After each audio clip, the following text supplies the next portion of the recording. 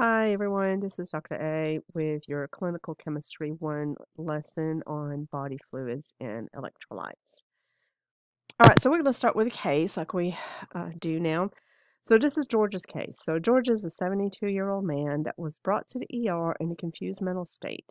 He has type 2 diabetes and has recently fallen in his kitchen about two days ago um, and was unable to get up. He had nothing to eat or drink for two days. The physicians diagnosed him with hyperosmolar hyperglycemic non-ketotic syndrome. So this is a complication of type 2 diabetes where the patient is hyperosmolar, meaning usually severely dehydrated, hyperglycemic, their blood sugar is high because of the stress state that they're in and then non-ketotic, uh, they just don't have any ketones usually because they're not type 1 diabetic. Uh, and it's usually um, there's usually enough sugar around to prevent the formation of ketones. So uh, in this case, if this was your patient that was brought to the ER, um, which chemistry results do you think are going to be abnormal? All right, so we can answer that here. So select all of the ones that you think are likely to be abnormal. So choice is going to be sodium, potassium, glucose, ketones, and osmolality. All right, so let's talk about some fluid facts. First of all, the human body is 60% water. Blood is 83% water. And uh, we have physical barriers to keep water inside, such as your skin and your mucous membranes. And the distribution of maintenance of water is maintained by uh, electrolyte concentration gradients, so and pressure gradients. Um, and so this has to do with, you know, how much sodium and potassium, and but also other uh, things such as a BUN and uh, glucose and um, other molecules, how they are distributed between the cells and the fluids that are around the cells and the fluids that are in the cardiovascular system.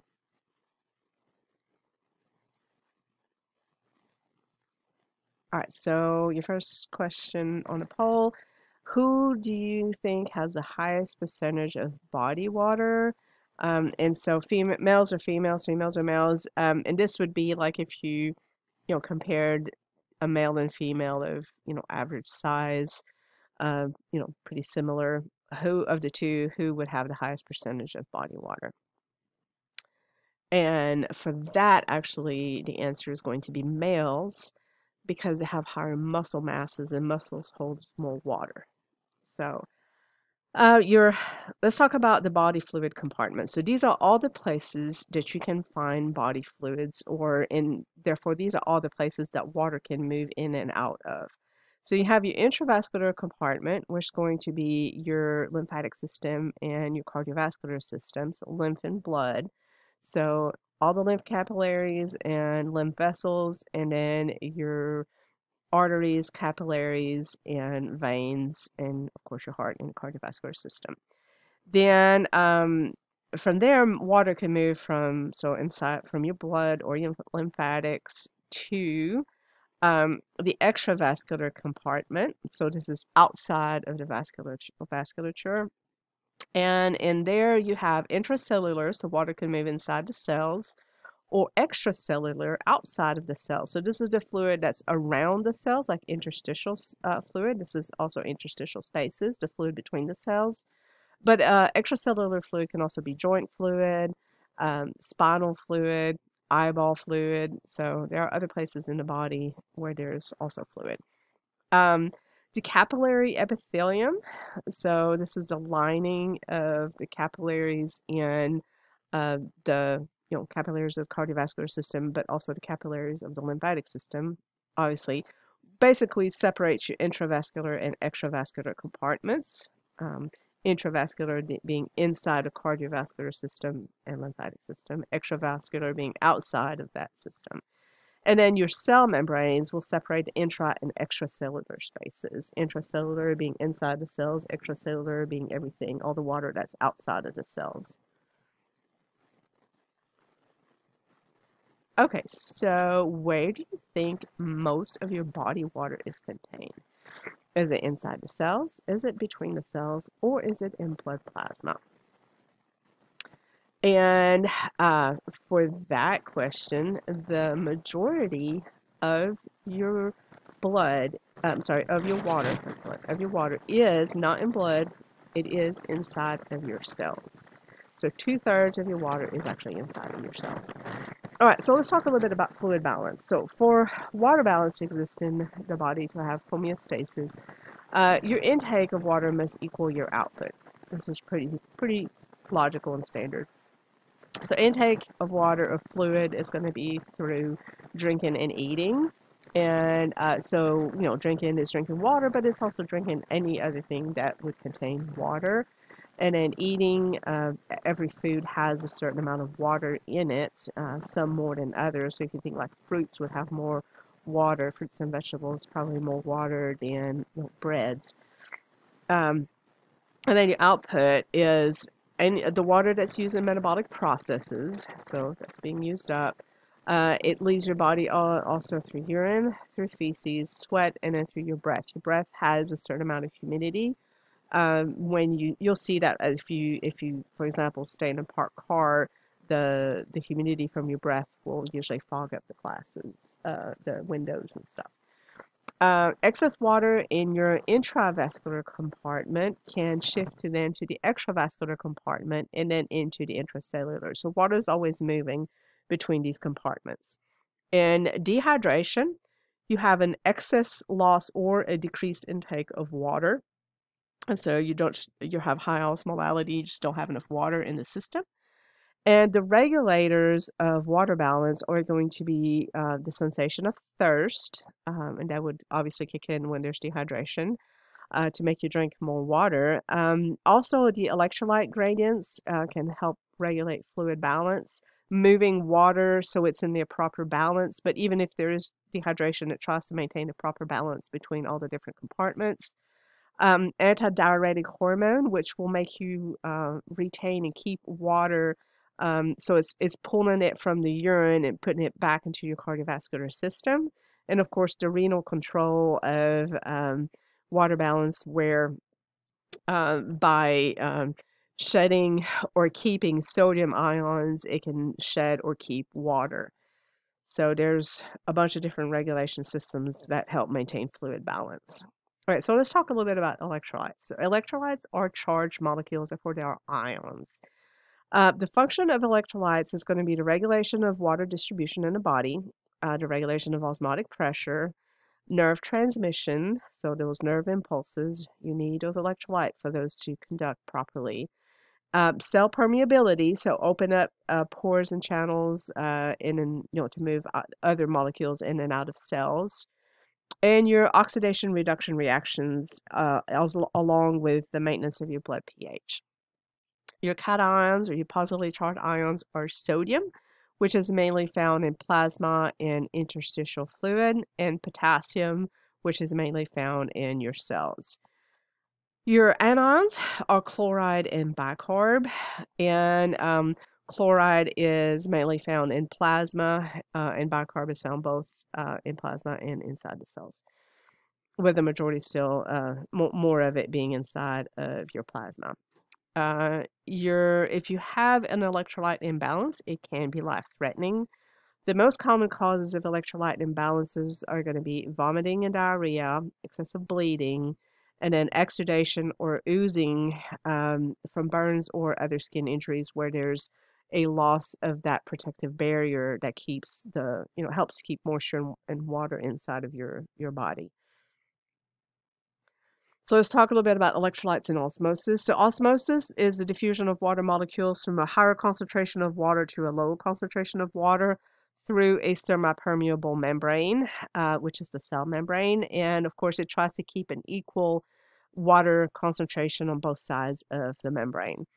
Uh, osmotic pressure is the physical force that is exerted during osmosis the more solute particles in a solution, the higher the osmotic pressure. So whichever side of the membrane has the highest concentration of um, other uh, molecules, molecule solute uh, particles other than water, then uh, it will have the highest osmotic pressure and um, it will actually draw water to itself, okay, to, to where that uh, osmotic pressure is because it's going to try to um, you want to balance the concentration of water on both sides uh, in relationship to the solutes that are on both sides of the membrane.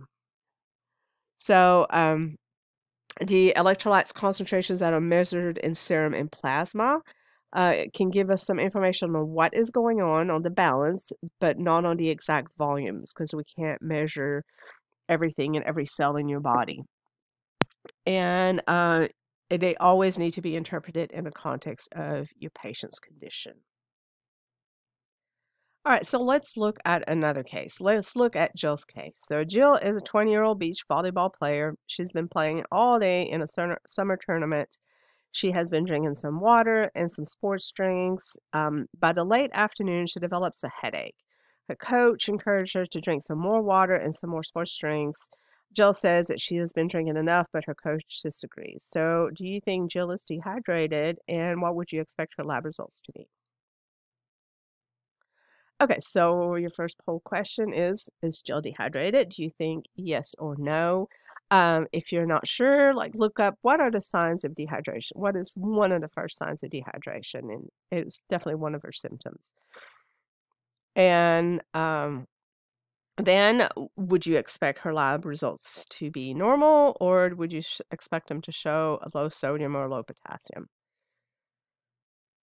All right, and so, and likely in her case, her lab results may likely show a, a low sodium and a low potassium because she's probably been sweating a lot. She's exercising all day in a tournament in the heat, in the sun. And so, if she's getting that headache, that means she's dehydrated, which means she's probably not taking in enough fluids and especially not taking in elect- enough electrolytes. Um, and so, I would expect to see some electrolyte abnormalities for her. So let's talk about the anion gap. That is a calculation that can be done when um, these electrolytes are measured. So um, this is based on the principle that your total anions and cations must equal each other for homeostasis. So the positives and the negatives must balance out. And it's not especially into kinds, just the amount of positives and the amount of negatives should always be equal. Okay. And so um, to get your anion gap, you take your sodium and your potassium and you add them together. And then you take your chloride and your bicarb and you add them together. So the positives added together, the two negatives added together, and then you subtract the negatives from the positives, and that gives you your anion gap. The anion gap will estimate unmeasured anions and cations. So these are anions, cations that you may not have uh, tested for in that uh, basic metabolic panel or in that comprehensive metabolic panel. Um, these are things like maybe calcium, although calcium is part of a BMP and a CMP. But like magnesium, magnesium is not, although it's very easily measured, so we could very easily measure um, calcium and magnesium. Your phosphates, your phosphates are not part of, um, phosphate level is not part of your BMP or CMP. Sulfates, same thing. Uh, they're not usually not, they're not even measured. You can get a phosphate level. Ketones, Ketones can be measured, but this could be an indication that you need to um, check for ketones. And lactates, um, which are organic acids, lactates can be measured also. Um, when you see an elevated anion gap, you can usually suspect either ketoacidosis or renal diseases. And if you see a decreased anion gap or negative one, then usually there's a problem with your instrument, instrument error, because you shouldn't normally see that. So let's get into the specific electrolytes. Your first one is going to be sodium. So sodium represents 90% of the plasma cations. So your positively charged ions in plasma, the majority of those is made of sodium. Uh, your main source of sodium is going to be salt. Um, believe it or not, the main source of salt in American diet is breads. So like, you know, just white bread, um, hot dog buns, and uh, pizza and hamburger buns and pastries and things like that. Uh, the sodium balance in the body is regulated by the kidneys.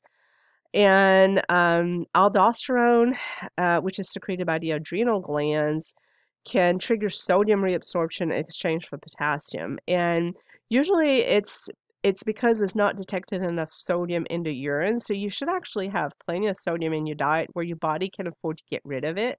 And there's plenty of it that can leave through the urine. And as long as that's going on, then aldosterone is not needed. But if you don't have enough, then um, that um, sodium is going to be reabsorbed in exchange for potassium. So it'll pull so- sodium from the urine and move it back into the cardiovascular system and it will dump potassium. Now, if you're chronically dehydrated, it can also do that.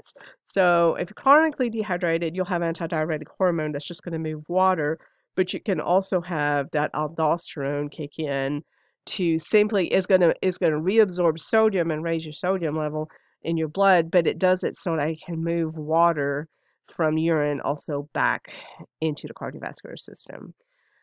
So, um, the function of sodium is to maintain the osmotic pressure of the extracellular fluid. So, um, this is uh, the osmotic pressure in your interstitial fluid and um, in your plasma and lymphatic fluid.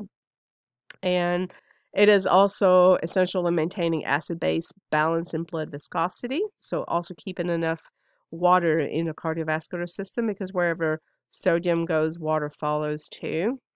Uh, and then uh, it helps transmit nerve impulses and it assists in muscle contraction. All important functions. So it's very important to have enough sodium. Uh, but again, it then again, not too much and not too little sodium in the body.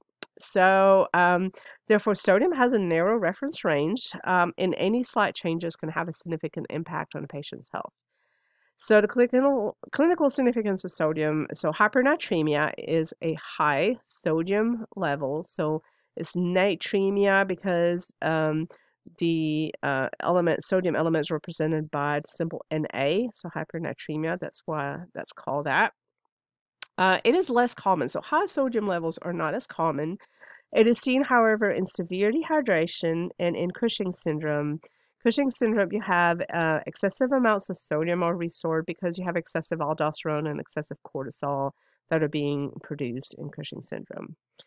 In uh, hyponatremia, which is more commonly seen, so this is not enough hyponatremia, not enough sodium in the blood.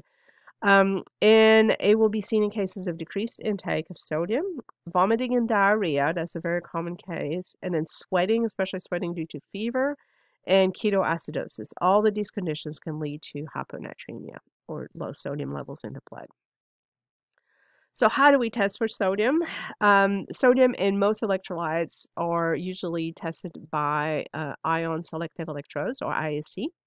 The principle of the ISE, as a, a reminder, is um, uh, an ion selective electrode will have a semi-permeable membranes and then two electrodes, a reference electrode and a sample electrode. And the potential is produced to due to the different ion concentration on, on either side of that membrane and the difference in the potential between the two um, the two, two electrodes can be measured and correlated with concentration of that ion in the sample. Uh, direct ion selective electrodes use an undiluted sample. They're often seen in point of care um, test cartridges, uh, point of care devices, and um, ABG analyzers. Your indirect ISEs use a direct a diluted sample sorry, and they are seen, and this is what's used in most large analyzers. So your big chemistry analyzers that have an ion selective electrode for um, the electrolytes are going to use the indirect ISE method. The source of error is especially true for the indirect ISE um, is that because it uses a diluted sample, it's prone to interference by both high lipids and high protein concentrations and those uh, substances, so if there's a lot of protein or a lot of lipids, um, they'll displace serum or plasma and yield a falsely decreased result, uh, especially in your sodium. The electrodes can get coated by protein from the sample, and that can also become a source of error. Your specimen types for analysis can be whole blood, serum, plasma, uh, usually a lithium heparin plasma, so those are green tops in urine. Whole blood would be usually then done for your point of care ABG analyzers, etc., whereas serum and plasma is usually what's used on your large analyzers. So, question You have been sick all night with vomiting and diarrhea. You're slightly dehydrated. Would you expect your sodium to be low or to be high? What do you think? Okay, and for that, I would say it would be more likely for your sodium to be low because you're losing your electrolytes, your, your sodium, through the vomiting and diarrhea as you're losing the fluids. All right, so next we're going to talk about potassium. So, potassium is the most abundant intracellular cation, so positively charged ion inside the cells. Uh, and so 98% of the potassium um, in your body is found inside your, your cells, in your intracellular fluids. So the majority, so 98%. So when we do a blood potassium or serum potassium level, we're only measuring 2% of the potassium in your body. Sources of potassium in your diet are going to be mostly from your fruits and veggies. And a function of potassium is to help with muscle activity and to conduct nerve impulses. So, again, it works along with sodium to do all of that. And aldosterone is also involved in the kidney's regulation of potassium. Uh, it's more like a indirect or passively. So, w- what happens is if a lot of aldosterone is released because um, the body needs to move the sodium back into the intravascular compartment, then it's going to dump potassium into the urine and you'll end up with low potassium levels. Uh, aldosterone does not move potassium back to the blood. It just, the only thing it does is it dumps potassium into urine. And so there's not a mechanism for you to conserve potassium like there is a mechanism for you to conserve sodium. Therefore, it's really important to get enough potassium and um, some patients that might be on medications, on diuretics that help them dump um, urine and dump extra fluid may have problems keeping their potassium levels up. So let's talk a little bit about the clinical significance of, of uh, potassium. So we'll start with hyperkalemia. Again, um, hyper is high, kale, y kaleo or kalemia so the symbol for potassium is K, and so that's where it comes from. So hyperkalemia, um, high potassium levels can paralyze the heart muscle. It's very interesting. So it can cause the heart muscle to stop beating. And uh, it's actually that's part of what's in a lethal injection, and that's how they can kill somebody. Is you can give them a massive overdose of potassium, and it will paralyze and stop the heart. Uh, so will also really low uh, potassium, but that's another issue. It can stop your heart just in a different way.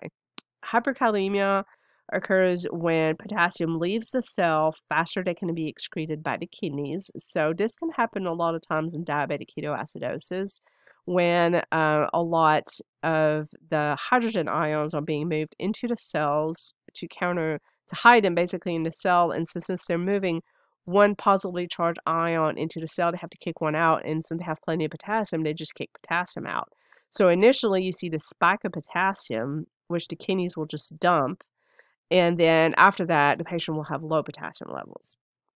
Hyperkalemia can also be seen in dehydration, in shock, and of course in metabolic or renal tubular acidosis. So, uh, common metabolic acidosis, diabetic ketoacidosis is, is a form of metabolic acidosis, which we'll talk about that in the next lesson.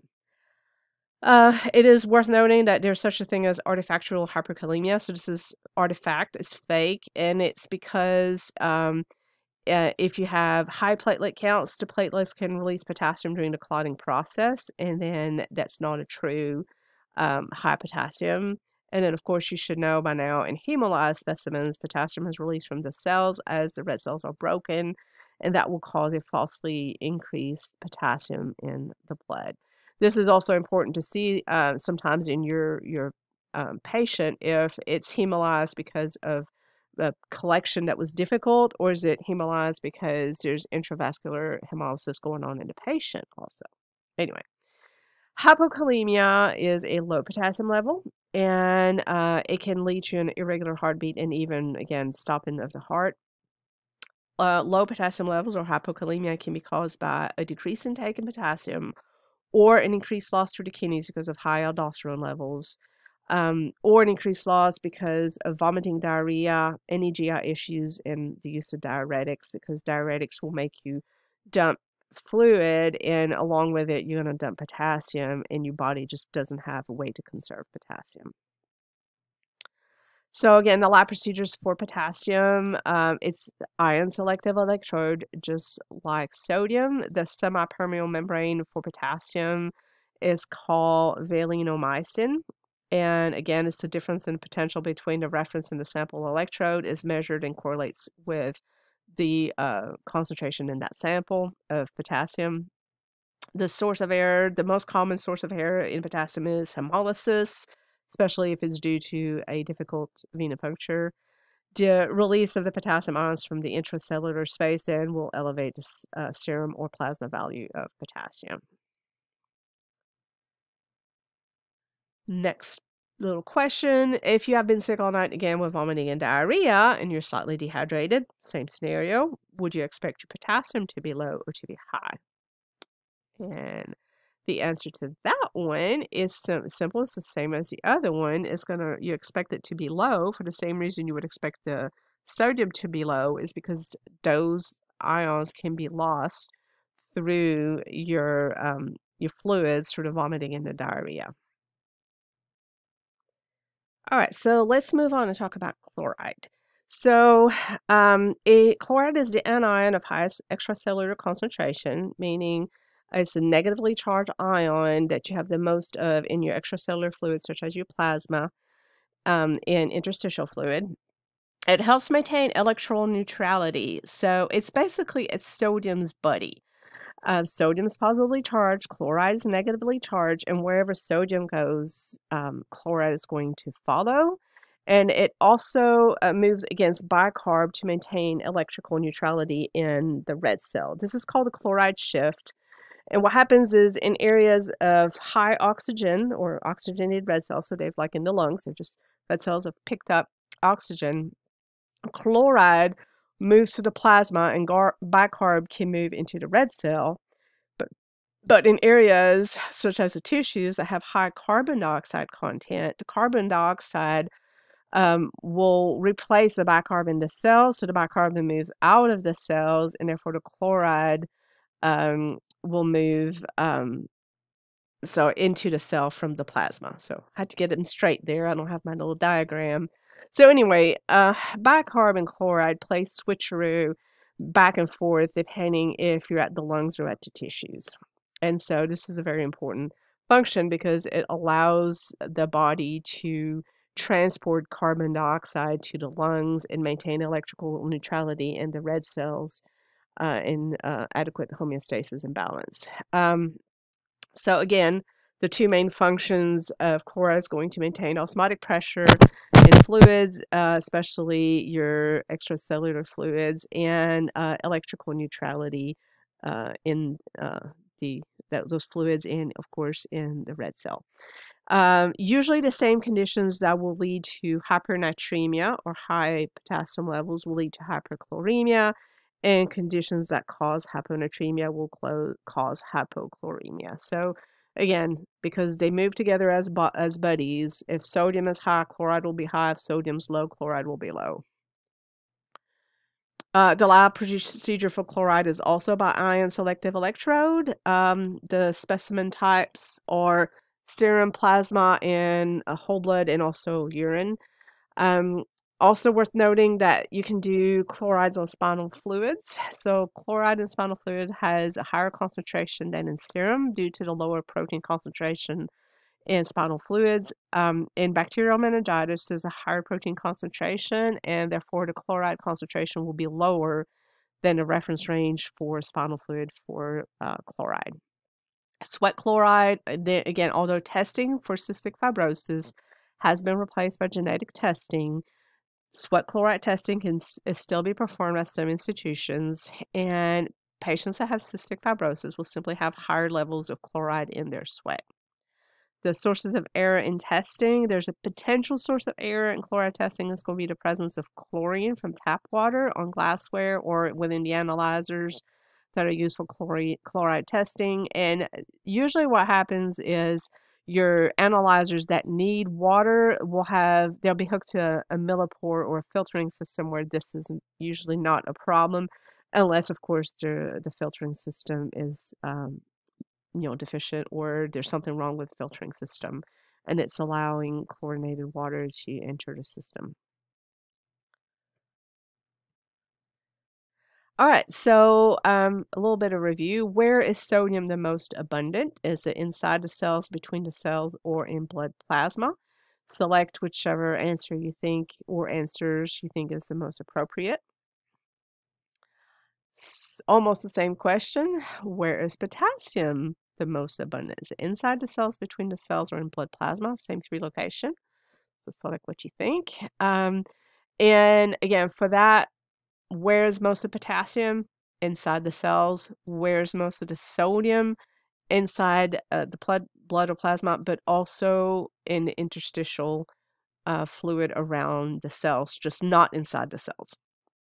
All right so we're going to move on to bicarbonate. It is an extracellular anion. So again meaning there's more bicarb outside of the cells than there is inside the cells uh, it is also known as total carbon dioxide in your basic metabolic panel and comprehensive meta- metabolic panels. So, total uh, carbon dioxide is actually a measurement of bicarb, and this is basically uh, because 90% of the carbon dioxide in the blood is actually bicarb or in the form of bicarb.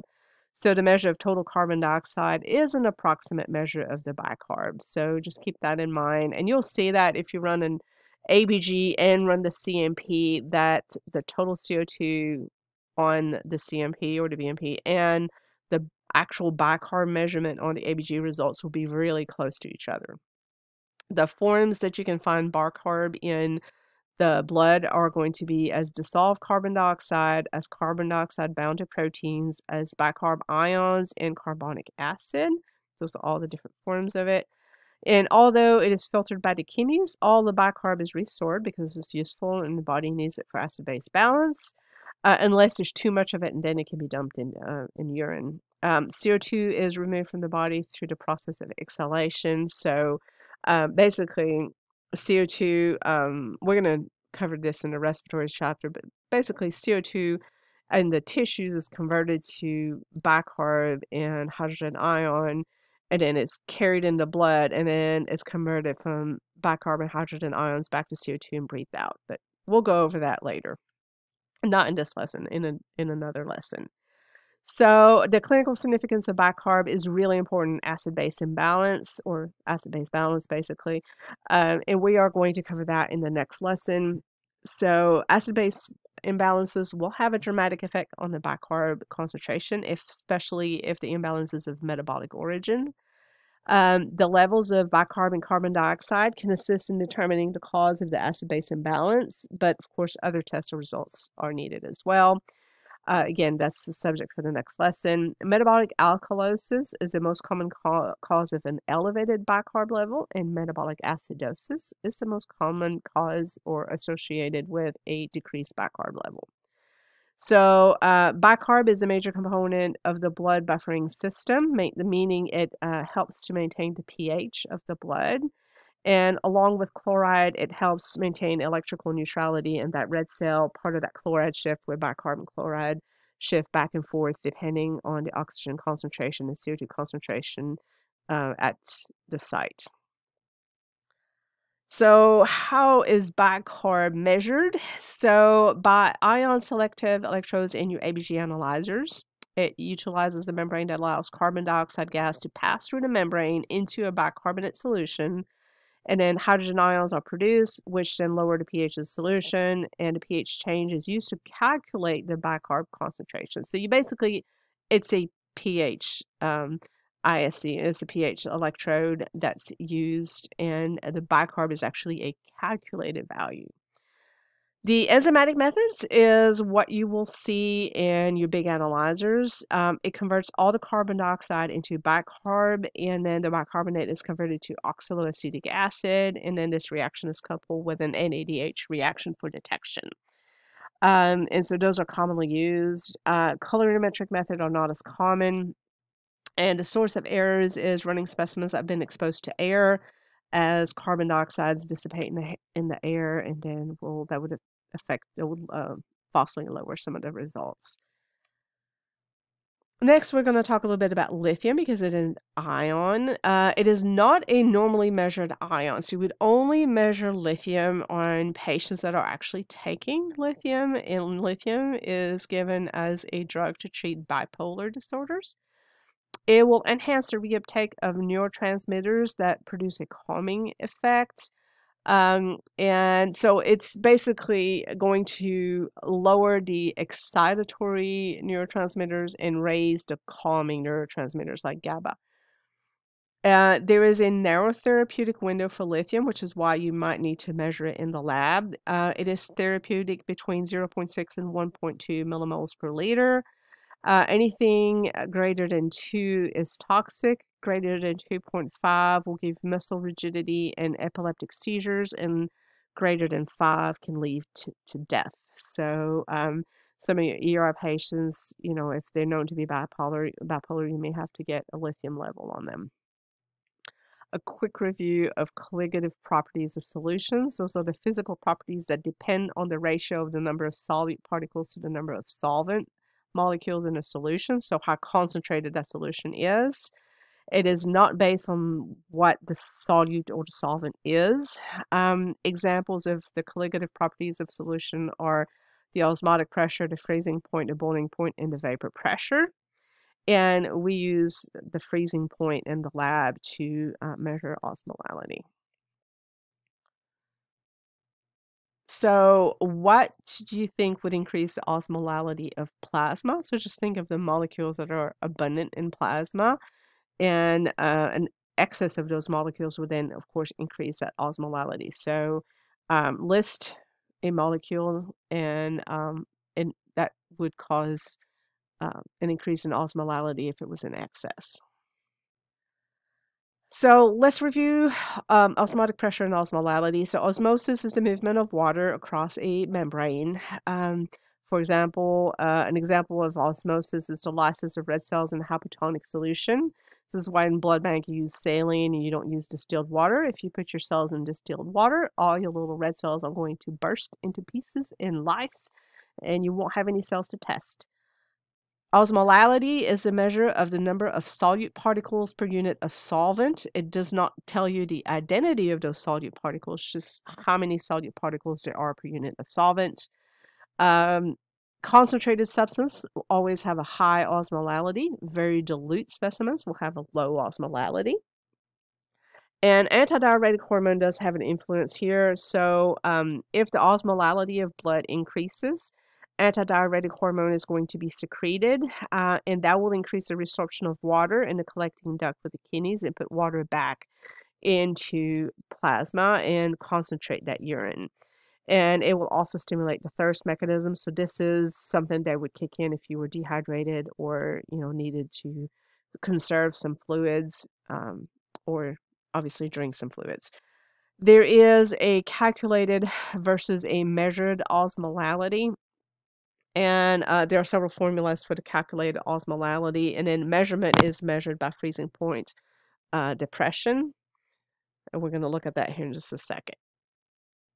So, in a person like Jill that's slowly getting dehydrated, her osmolality will still read in a normal range, but you would expect uh, her osmolality to be higher than her normal value or trending towards the higher end of normal or lower than her normal value or trending towards the lower end of normal. And this would be measuring it in blood. So it is good to specify that because you could uh, measure it in blood or in urine, so um, serum or urine. So let's say her serum osmolality, what would you think it would be? Would it be higher or lower than normal? Or than her normal? Anyway, so let's look at the clinical significance then of osmolality. So your reference ranges for measured osmolality, measured by freezing point depression, uh, for serum is 275 to 295 milliosmoles per kilograms. For urine is 300 to 900 milliosmoles per kilogram. When physicians order these tests, they often order it in serum and urine to check uh, uh, the concentrating ability of the kidneys. To see if the kidneys are able to concentrate the urine adequately or to check to see if there's presence of unmeasured substances. Um, so uh, osmolality of serum it will be affected by poisons such as ethylene glycol, which is antifreeze, and methanol, which is a form of alcohol that you should not drink. Uh, but you know, moonshine. Uh, medications can also affect it, and diseases. Uh, any va- value less than 240 milliosmoles per kilogram or greater than 320 milliosmoles per kilogram will require immediate inter- intervention by the medical staff because these are very dangerous. Um, hyperosmolar conditions or conditions that would cause reading uh, higher than um, the upper you know value for serum here are diabetes insipidus caused by a deficiency of antidiuretic hormones so uh, they do not know it, they don't they can't concentrate their urine so the kidneys cannot resorb the water. And so that leads to the production of large amounts of really dilute urine um, and loss of vast amounts of water through the kidneys. And then the blood becomes hyperosmotic. The, the blood is kind of like dehydrated because it's just all leaving the body. And then hypoosmolar conditions or conditions that would cause, cause these uh, serum readings to be below 275 would be when excessive amounts of antidiuretic hormones are secreted, uh, the opposite occurs. So you would have really concentrated urine and very dilute blood. Um, and so that would be a hypo or very dilute blood. Osmometers um, are what you use to measure the osmolality of serum in urine specimens. Uh, in the lab, we commonly use, again, freezing point depression. The sample is super cool to a temperature below its freezing point. A stirring rod causes the crystals to form, releasing the heat of fusion. Uh, the heat of fusion raises the temperature back to its freezing point, and the temperature change is measured by a thermistor and converted to milliosmoles per kilogram. And this is as compo- as compared to the, of course, the normal freezing point of like water is kind of like that's the standard, but um, yeah, and the more concentrated a solution is, then the lower its freezing point is going to be. This is the same principle we've talked about about why you can salt the sidewalks and keep it from icing because it lowers the freezing point of water. A little bit about fluid imbalances. Let's look at what's going on with the lymphatic system. So, um, the lymph system is really important to fluid balance. So, lymph fluid is composed of proteins and other fluids. Uh, it is initially blood or plasma, basically, that has leaked out of the blood capillaries into the tissue bed, along with us, other substances, such as, you know, there could be some bacteria in there, uh, in lymph. Uh, some cancer cells, um, and there's, you know, could be some protein molecules and, you know, ions, all of that can be part of lymph. Um, so initially, when plasma leaves the blood capillaries and bathes the t- cells of the tissue, and the, those cells take the components and water and things that it needs, then um, the fluid that's left, some of it is pulled back into the cardiovascular system on the venous end and enters back into the cardiovascular system. And then some that's left behind gets pushed into the lymphatic system. So the endothelial cells or the